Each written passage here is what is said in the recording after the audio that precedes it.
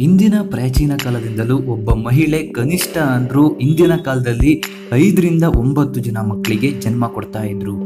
ಆದರೆ ಈಗಿನ ಕಾಲದಲ್ಲಿ ತುಂಬಾ ಜನ ಮಹಿಳೆಯರು ಒಂದು ಮಗು ಸಾಕು ಅಂತ ಕೂಡ ಹೇಳ್ತಾರೆ. ಆದರೆ ಇಲ್ಲಿ ಒಬ್ಬ ಮಹಿಳೆ ಒಂದೇ ಬಾರಿಗೆ ಹದಿನೇಳು ಮಕ್ಕಳಿಗೆ ಜನ್ಮ ನೀಡಿದ್ದಾಳೆ. ಈ ಒಂದು ಘಟನೆ ಒಂದು ಆಶ್ಚರ್ಯ, ಒಂದು ವಿಶೇಷ ಅಂತಾನೆ ಹೇಳ್ಬಹುದು. ಈಗಿನ ಕಾಲದಲ್ಲಿ ಒಂದೇ ಮಗು ಇದ್ರೆ ಸಾಕು ಅನ್ನೋ ಒಂದು ಕಾಲದಲ್ಲಿ ಒಬ್ಬ ಮಹಿಳೆ ಇಲ್ಲಿ ಒಂದೇ ಬಾರಿಗೆ ಹದಿನೇಳು ಮಕ್ಕಳಿಗೆ ಜನ್ಮ ನೀಡಿದ್ದಾಳೆ. ಹೌದು, ಈ ಮಹಿಳೆ ಇಂಡಿಯಾಗೆ ಸೇರಿದವರು. ಒಂದೇ ಡೆಲಿವರಿಯಲ್ಲಿ ಹದಿನೇಳು ಮಕ್ಕಳಿಗೆ ಜನ್ಮ ನೀಡಿದ್ದಾರಂತೆ. ಇದರಲ್ಲಿ ವಿಶೇಷ ಏನಪ್ಪಾ ಅಂದ್ರೆ ಎಲ್ಲ ಮಗು ಕೂಡ ಗಂಡು ಮಗುವಂತೆ. ವೈದ್ಯರ ಸಂಶೋಧನೆಯ ಪ್ರಕಾರ ಯಾವುದೇ ಮಹಿಳೆಯಾದರೂ ಕೂಡ ಒಂದೇ ಬಾರಿಗೆ ಗರಿಷ್ಠ ಅಂದ್ರೆ ಹದಿನೇಳು ಮಕ್ಕಳಿಗೆ ಜನ್ಮ ನೀಡಬಹುದಂತೆ.